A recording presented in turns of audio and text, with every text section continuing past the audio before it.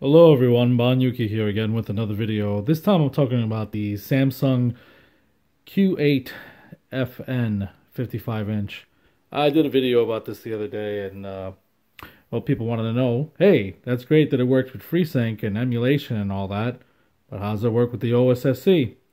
Uh, quite well actually. As you can see here, we're looking at Super Nintendo. It's running in Line 5X mode. I'm running uh, a Link to the Past MSU1 ROM it's a pretty good game. Um, one of my favorites, so I usually use this as a nice way and look. Uh, hybrid scan lines. Here's your mode 7.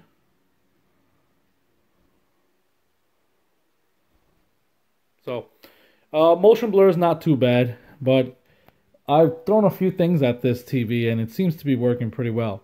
Um, I've had some issues with the 3DO uh, S-Video trick that I use on the Bandridge switch.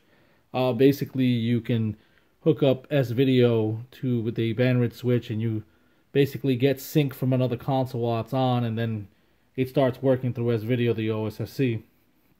For some reason, this TV does get an image, but it's all in red. So if anyone knows how to fix that, just give me a holler, and I'll I'll take a look at it myself. But uh, yeah, OSSC works the Super Nintendo on all its modes, and it works great. So uh, input delay from RTINGS says it's about 20 milliseconds, so it's actually worse than the TCL.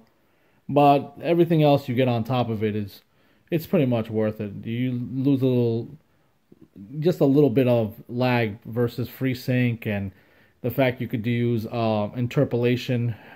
I mean, there's so many things you could do with this television gaming wise.